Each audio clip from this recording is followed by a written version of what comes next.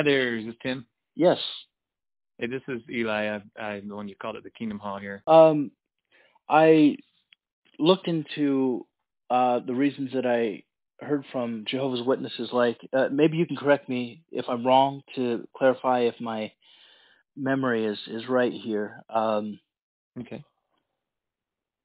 what they're telling me is that like uh, the the Trinity they believe originates with the First Nicene Creed or Council created by um, the pagan emperor Constantine, who uh, unified Rome politically through civil war, but he still faced a division in its religion. Right. Uh, when I look into uh, church history in the first 500 years, though, I find um, before the Council of Nicaea, I find in 186 AD that Tertullian of Carthage, he was a lawyer trained in Roman law. Uh, he was converted, it looks like, I think in the apostolic time, he defended the Trinity against Sabellius, who was uh, spreading modalism. And so I, I also kind of took a look into modalism, and it turns out there's uh, modalism here in my local community. There's a church here of the it's the UPC, the United Pentecostal Church. They're uh, modalists. I, I don't know if you're familiar with modalism. Not really. I mean, I'm familiar with Pentecostals, but I don't know what modalism means exactly. Uh, yeah, it's a little different for me too. It goes way back. Um, it's uh, the belief that God is one uh, being and one person, and that He operates in different modes in history. Like, for instance, in the Old Testament, He would He would be 100% the Father. In the New Testament, He would be 100% the Son, and then in the Church age, He would be 100% the Holy Spirit. He it's almost like he's uh, wearing different hats, different stages in history. Hmm. So then, and then by the time of the Nicene Creed, I seem to recall that there was kind of two factions. There's there was like the um the uh well I think one of them was called the Arians Wow, and one yeah. of them was called the I forget the other one, but one of, but there was kind of Yeah, yeah. So I mean, those ideas existed at at uh, yeah before that time, that's right. that then sort of the Christendom as we know it today sort of was shaped by that because they sort of had to pick wh- Sides which was uh, Arius of Alexandria, and then uh, the other, uh, the person who was defending against Arianism, the Trin- Trinitarian position was um, uh, the uh, Athanasius. okay And uh, so, yeah, you're right. Neither one of these guys were the first ones to hold those positions, but right it, you know, like Arius really kind of spread hit that theological position. He would he he it's in his name because he really brought it to the forefront more than anyone else. And also Athanasius was not the only one defending Trinitarianism, but he came to the forefront at this point in history uh, in the division that was existing there. But those were not the only two positions that were uh, necessarily uh, up for grabs. I mean, modalism was still there. Uh, in fact, none of the um, theological positions that were that arose and that were defended against have ever completely gone away. It turns out. so have you have you then seen well I guess in the scriptures when you know you mentioned about the apostolic time about um well I guess like in so there's a there's a verse in First Thessalonians that uh or maybe it's I guess I'd have to find it real quick here um I think it's in verse let's see it would be I guess it would be chapter or Second Thessalonians chapter two. Um and verse well the very beginning of chapter two um it, it says in like verse two not to be quickly shaken from your reason. Um and then kind of in verse three it says let no one lead you astray be, in any way because it will not come unless the apostasy comes first Okay. uh, so so that idea like is kind of a theme throughout all of the the Greek scriptures or you know some called you know the New Testament that that there would be basically the teaching that was given to them by Jesus, um, but that they were constantly being reminded to hold fast to that because there would be plenty of other teachings that would come up in the in the years to follow, which sounds like kind of what you're describing, all these different versions of you know ideas, philosophies, and so forth that people have to eh, to explain the scriptures. Yes, yes, indeed. So, so that would be kind of the way we understand that to have come about is that there would be an apostasy following the death of the apostles. Yes. And so so what what would the Bible have meant or what would those teachings have been meant to uh, explain in the first place? You know, how would people have taken Jesus' teachings or the apostles' teachings in the first century? Uh, that would be that's that's our authority on on on those things. The way that I've kind of dealt with that issue is um, Jude one three. Uh, contend for the faith that was once for all delivered uh, to the saints or to the people of God. Mm-hmm. Um, that message, as I've investigated uh, the scriptures, looks to be uh, Second Corinthians, or I'm sorry, First Corinthians, First Corinthians, chapter 15, verses one through eight. Um,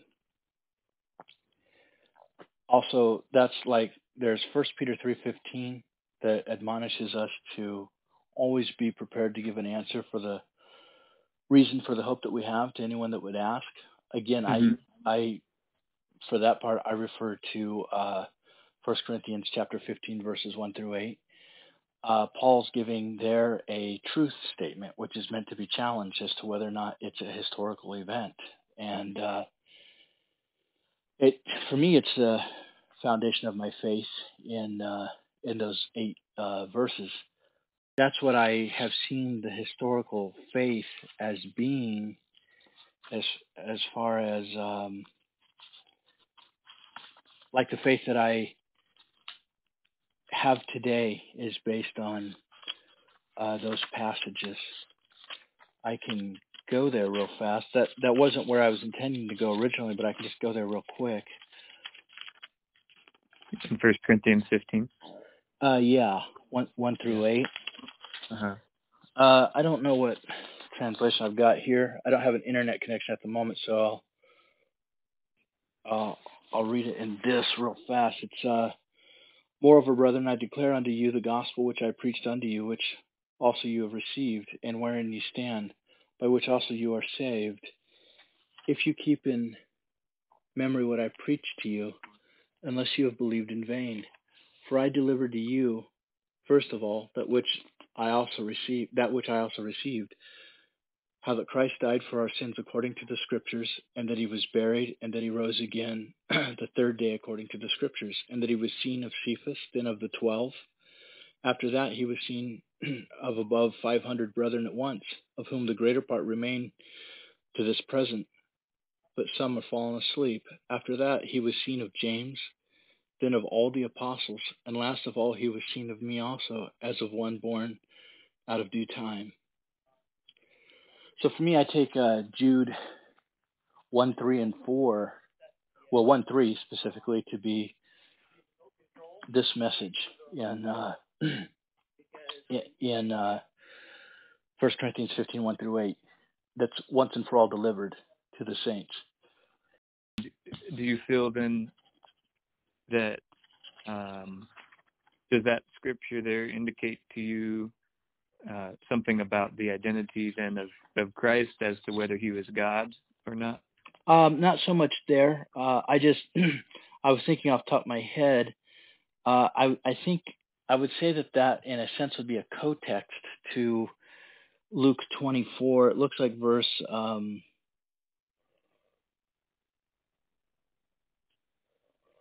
seven, where Jesus is speaking, uh, saying the Son of Man must be delivered into the hands of sinful men and be crucified and the third day rise again. So it seems right. Jesus is talking about that already to the disciples, and then Paul's giving an account of it after the fact as a historical event. because I understand where Jehovah's Witnesses are coming from in seeing uh, the Council of Nicaea as an origin of the Trinity, although I find the Trinity defended in 186 AD by Tertullian. Um, I can kind of see where their argument's coming from there because uh, uh, Constantine was making it, you know, really uh, the state uh, religion and kind of mandating that you must be uh, Trinitarian. And uh, I mean, not everyone was. There were still Arians and things, but um, I it's uh, I've I've read the Athanasian Creed too, and uh, Athanasius, you know, he well, actually, I don't think the Athanasian Creed was written by Athanasius, but it's in his name, and in that, uh, it condemns somebody if they don't believe in the Trinity of not being saved. Uh, I don't know that I agree with that 100%. Um, if somebody doesn't understand the Trinity yet, I wouldn't I wouldn't say that they would be held under that. But also, um, more importantly for me, is whether or not uh, there's a Trinitarian nature of God revealed scripturally. I think that's far more important than a political issue uh, that took place really with um, a new emperor and and the state church. Uh, I think more importantly is is what is whether or not Scripture reveals it. Um, yeah, I would agree with you for sure. Uh, what I have here is uh, some scriptures that I feel may lean in that direction. These are scriptures that pertain to the resurrection of Jesus Christ after he's been raised from the dead. Okay. Uh, the first one is Romans 8, uh, chapter 8, verses 11 through 13. Uh-huh. Uh, and if the spirit of him who raised Jesus from the dead is living in you, he who raised Christ from the dead will also give life to your mortal bodies because of a spirit who lives in you. So this sounds like to me that the Holy Spirit took part in raising Christ. Okay. Would we would we agree there? Mm, the spirit. I can't see why not. I mean, basically, the way um, the way we understand the Holy Spirit as being God's active force, basically the means by which He uh, does anything, essentially. Um, so anything that you can um, attribute to God, you can basically attribute to the, the Holy Spirit, being not a separate entity, but being His the means by which He accomplishes what He does, basically and obviously it says right there that the spirit um you know it's mentioned in the verse and so uh, but that that would be kind of the way yeah the way uh, I read that I have some scriptures on that. I I had compiled just a, a, some for kind of the person work of the Holy Spirit as well, uh, because I I kind of I had gotten from Jehovah's Witnesses that it was uh, an active force, like maybe impersonal. Uh-huh. Uh, I have I have some scriptures for that for me are the reasons that I would see the whole that I do see the Holy Spirit as a person. Um, Acts five three and four. Uh, then Peter said, know, Ananias, how is it that Satan has so filled your heart that you have lied to the Holy Spirit and have kept for yourself some of the money you received for the land. Didn't it belong to you before it was sold? And after it was sold, wasn't the money at your disposal? What made you think of doing such a thing? You've not lied just to human beings, but to God. So in Acts chapter 5, 3, and 4, it seems to be saying that lying to the Holy Spirit is lying to God. Um, and then Acts 28, verses 26 and 27. Uh, they disagreed, or I'm sorry, 25 through 27. They disagreed among themselves and began to leave. After Paul had made this final statement, the Holy Spirit spoke the truth to your ancestors when he said through Isaiah the prophet, and as you if you continue to read that, um, what Paul is actually repeating there is from Isaiah six eight. But he Paul, Isaiah six eight, you said? Yeah. Now Paul says it was the Holy Spirit that spoke. Um, in Isaiah six eight, Isaiah says that it's Jehovah who spoke, that it's God. Now I I would be very reticent to say that Paul made a mistake. He's really the greatest theologian ever to live. I don't Mhm. think he would be in error when he when he's saying this. He Can you can you remind me the verse where Paul said that? I'm sorry. Oh yeah, I'm sorry. Uh, Acts chapter 28, verses 25 through 27. Got it. Paul says it's the Holy Spirit who spoke, but then in Isaiah 6 8, it says, Then I heard the voice of the Lord saying, Whom shall I send, and who will go for us? And I said, Here am I, send me. So Isaiah is saying that it's God, and then Paul is saying that it's the Holy Spirit. hmm Uh, I've got Second Corinthians three seventeen. Now the Lord is the Spirit, and where the Spirit of the Lord is, there is freedom. And then, really, to give a strong testimony to the person of the Holy Spirit would be Acts chapter 13, verses 1 through 3. Now, in the church at Antioch, there were prophets and teachers Barnabas, Simeon, called Niger, Lucius of Cyrene, Manaen, who had been brought up with Herod the Tetrarch and Saul. While they were worshiping the Lord, while they were worshiping the Lord and fasting, the Holy Spirit said, "Set apart for me Barnabas and Saul for the work to which I have called them." So after they had fasted and prayed, they placed their hands on them and sent them off. Here, in this in these passages, it has the Holy Spirit uh, speaking in uh, first person, identifying himself. Uh, did you say Acts 17, 1 through 3? Uh, 13. Oh, that would explain why I'm confused. Oh, I'm sorry. No, no, no. You you probably said it right. I'm just Oh wait, I'm sorry. Before that was Second Corinthians 3:17. I'll go slower so that you can go no, with no. me. I I didn't got know. I'm looking them up as we go here. Okay, I didn't know if you wanted to go. I'll I'll wait for you on that. I'll I'll take more time. I didn't I didn't know if you'd wanted to go to those with me or not.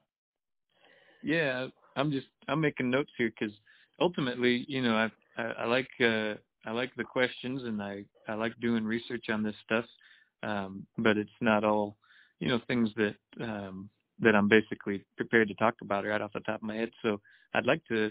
Um, so I'm making notes here so that I can do some more research on this. Scriptures you mentioned so far about the Spirit.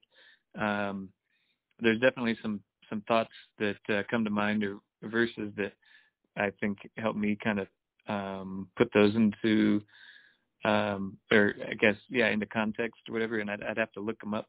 Um, I don't want to kind of shoot from the hip here.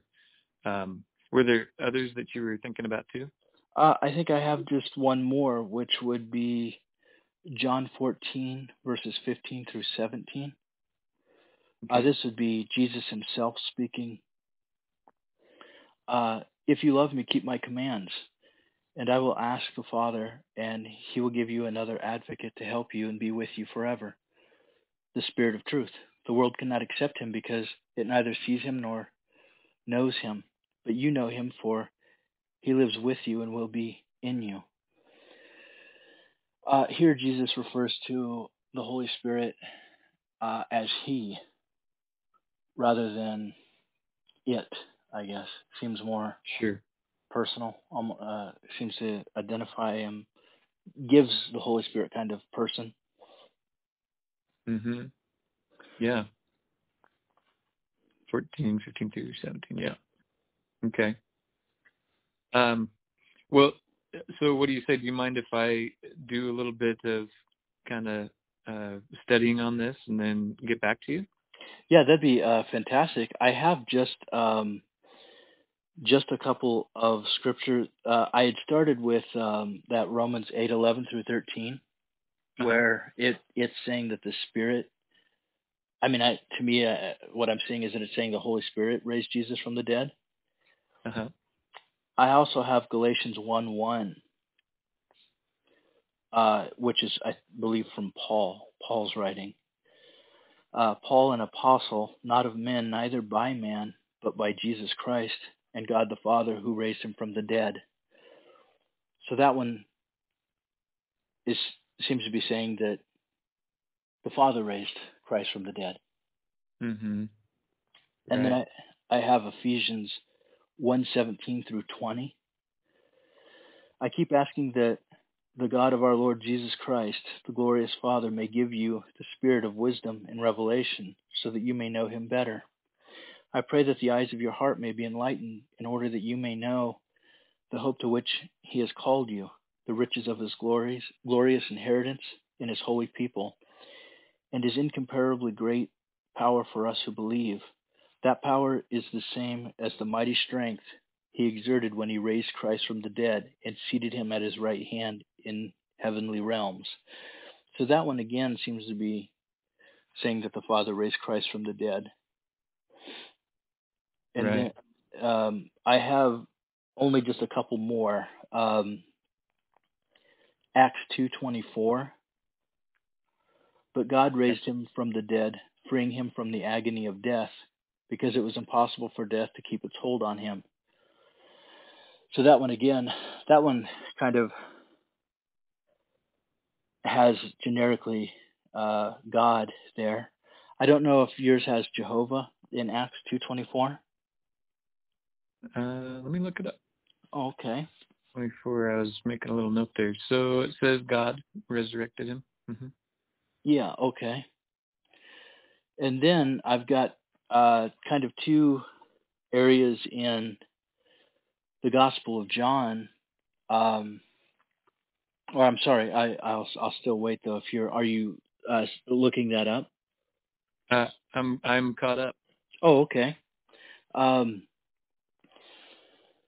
the uh, I've got John two nineteen through twenty one. Okay. Uh, Jesus answered them, Destroy this temple, and I will raise it again in three days. They replied, It has taken 46 years to build this temple, and you're going to raise it in three days? But the temple he had spoken of was his body. Right. It sounds here like Jesus is talking about raising his own body from the dead, but there's another passage in the Gospel of John uh, where he talks about that again, it seems. It's um, John chapter 10, verses 17 and 18. Okay. 10, 17, and 18. The reason my Father loves me is that I lay down my life only to take it up again. No one takes it from me, but I lay it down of my own accord. I have authority to lay it down and authority to take it up again.